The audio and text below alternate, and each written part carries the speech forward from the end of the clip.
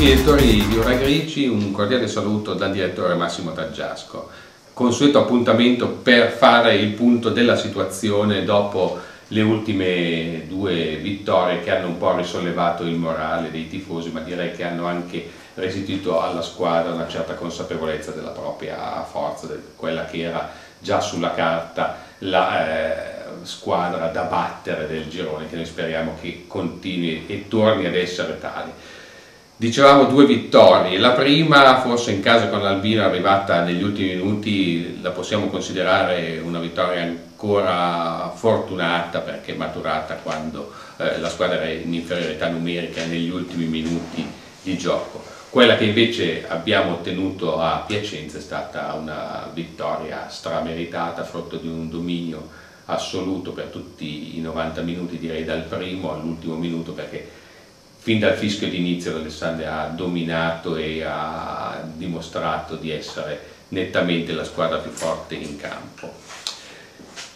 La prossima è ancora una trasferta, si gioca a Bassano che è tradizionalmente un terreno ostico, il Bassano è anche la squadra che guida la classifica. Ci eravamo un po' persi alle spalle del Bassano, ma eh, siamo ora di nuovo sotto, siamo a 4 punti, quindi un'eventuale vittoria ci porterebbe a meno 1, ma non è solamente il problema di quanti sono i punti di distacco dal Bassano, il problema è mm, che questa incomincia ad essere una partita verità, una partita che ci può dire qual è la forza reale di questa Alessandria. Oddio, mancherà ancora Lobiso che è un po' l'uomo su cui si punta per fare il salto di qualità definitivo, però eh, diciamo che eh, dopo queste due vittorie eh, ne aspettiamo una terza, ma soprattutto aspettiamo di capire se la Biera Alessandria è quella vista nelle prime gare della stagione, quindi incerta e piuttosto confusionaria, o se invece è quella eh, spigliata, autorevole e forte che abbiamo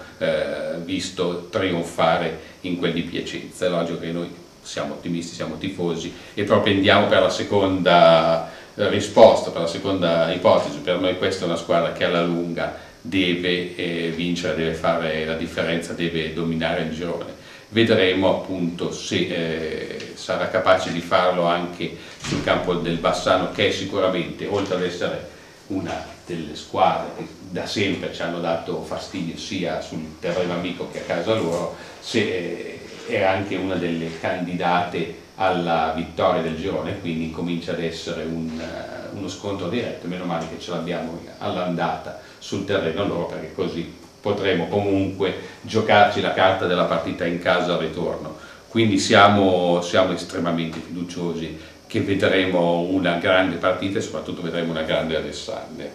Chiudo il mio intervento ricordando proprio oggi, mentre registriamo queste immagini, ci è giunta la notizia della morte di Arrigo Dolso, uno dei grandi protagonisti dell'ultima promozione dell'Alessandria in Serie B, una squadra veramente